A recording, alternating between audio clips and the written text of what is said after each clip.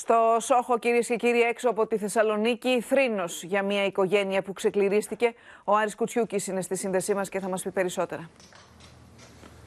Δεν έχουν τέλος οι οικογενειακές ιστορίες από θύματα του κορονοϊού Λίνα, βυθισμένοι στη θλίψη οι κάτοικοι του Σοχού. Δυστυχώς ένα ζευγάρι έχασαν τη ζωή τους με διαφορά λίγων ημερών, δεν είχαν εμβολιαστεί.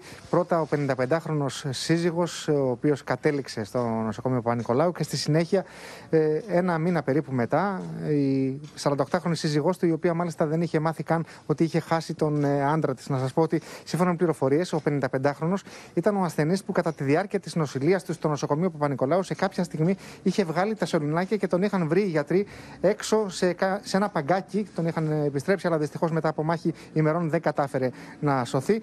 Μετά από λίγες ημέρες, λοιπόν, δυστυχώς και η 48χρονη κατέληξε από επιπλοκές του κορονοϊού, ενώ είχε χάσει και τον ηλικιωμένο πατέρα της, επίσης ανεμβολία. Στο να σημειώσω ότι εδώ στο Σοχό και στην ευρύτερη περιοχή τα ποσοστά εμβολιασμού παραμένουν ιδιαίτερα χαμηλά. Ωστόσο, μετά τους θανάτους που είχαμε το τελευταίο διάστημα στην περιοχή, αρκετοί είναι αυτοί που έσπευσαν να κλείσουν ραντεβού προκειμένου να εμβολιαστούν λίνα. Μάλιστα, σα ευχαριστώ πολύ. Να δούμε τι λένε κάτοικοι στον Σοχό.